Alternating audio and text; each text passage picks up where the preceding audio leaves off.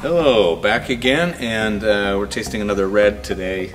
Um, very well-known producer, one of the great um, names in the Northern Rhone, Delas, uh, which Delas is probably more recognized for their negociant wines than anything else, so uh, wines that are made on a larger uh, production scale typically, um, that are outsourced from other growers. But what we have here is, uh, this is truly the real McCoy. This is uh, Domaine de Grands Chemins, indicating it's one of their estate properties and it is uh, bottled on the estate. And this comes from Crozes Hermitage, 2010. 100% Syrah, comes in at 13% alcohol, and uh, the importer, they have more than one U.S. importer, but this is uh, Maisons Marques uh, out of Oakland.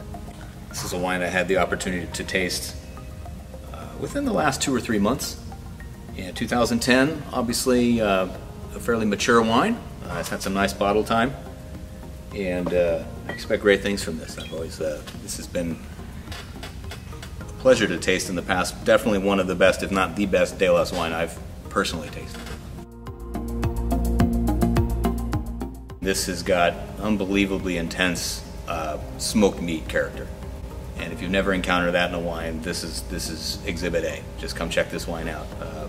Because um, at $27, uh, you can really get your quintessential uh, Northern Rhone character. Now, Crozes Hermitage is not one of the more famous uh, appellation in the Northern Rhone. It's a much larger appellation, um, somewhat analogous to maybe our Sonoma Coast appellation here in California. A bit hard to define in terms of terroir and geography, but there are some very special vineyards certainly within the Crozes Hermitage that, uh, as we like to say, over-deliver or uh, outperform a lot of their their contemporaries in terms of just the quality of the wine and, and the the tremendous authenticity.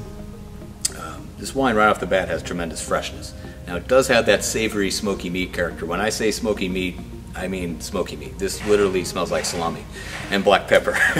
but it also has, it's got that tremendous floral character, a lot of violets. I am getting sort of a, almost like a mocha cassis, like creme de cassis uh, kind of character to it. So it has some nice kind of richness and um, a bit of lushness to it, very kind of black fruited nose.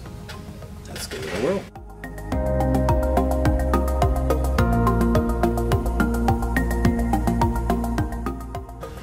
Yeah, no surprises there. Um, yeah, the palate very much confirms the, the nose. Um, savory, smoky meats, but, uh, but really, really developed fruit. I mean, this is 13% alcohol.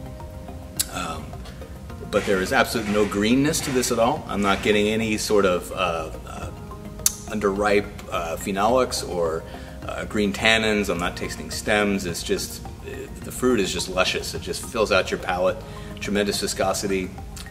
You're going to be tasting this wine for well over a minute after after the finish. I mean, it has tremendous complexity.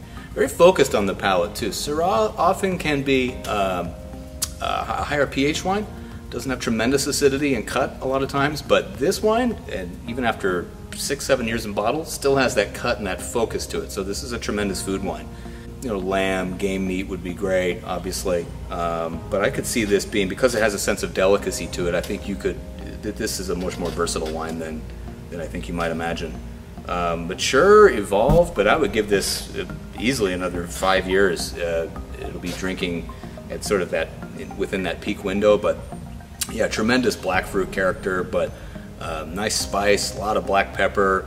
Um, I am getting a bit on the finish now, it's really starting to show up sort of a sort of a fresh herb quality, sort of rosemary, sage.